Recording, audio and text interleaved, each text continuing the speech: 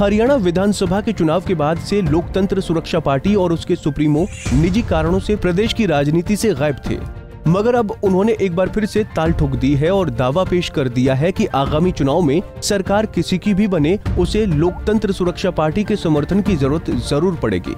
इतना ही नहीं, आम आदमी पार्टी के उस दावे पर भी सैनी ने सवाल खड़ा कर दिया, जिसमें आप नेता कहते हैं कि पंजाब ने आम आदमी पार्टी की नीतियों के चलते बहुमत दिया है। उन्होंने कहा है कि अगर पंजाब में आम आदमी पार्टी अपनी नीतियों की वजह से जीती है तो बाकी चार राज्यों में उसका सफाया कैसे हो गया? क्यों उसे एक भी सीट नहीं मिली? अगर ढाई साल में कोई समीकरण, जैसे आज वैसे तो बदकिस्मती है कि दलित पिछड़े को कोई वोट देता नहीं। अगर आप कहते हैं कि आम आदमी पार्टी की नीतियाँ पंजाब में जीती हैं तो फिर चार राज्यों के चुनाव और भी थे, वहाँ भी आम आदमी पार्टी इलेक्शन लड़ रही थी।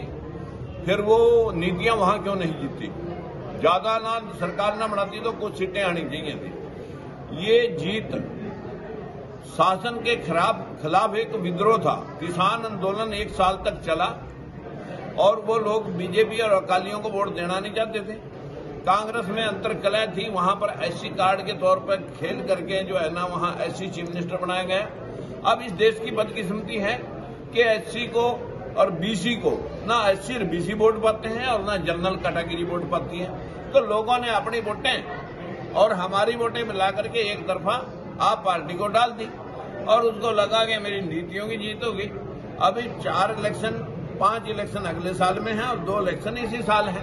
पता लग जाएगा कि भाई नीतियों की जीत थी या विद्रोह राजकुमार सैनी ने कहा कि ये जीत शासन के खिलाफ एक विद्रोह था और किसान आंदोलन का भी पंजाब में काफ़ी असर दिखाई दिया। सैनी ने आम आदमी पार्टी से कहा है कि आगामी दो सालों में पता चल जाएगी कि ये नीतियों की जीत थी या फिर विद्रोह की।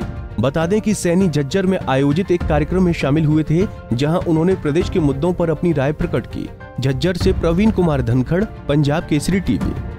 हमसे जुड़े रहने के लिए हमारे YouTube चैनल को सब्सक्राइब करें और नई वीडियो की नोटिफिकेशन के लिए बेल आइकॉन को दबाएँ।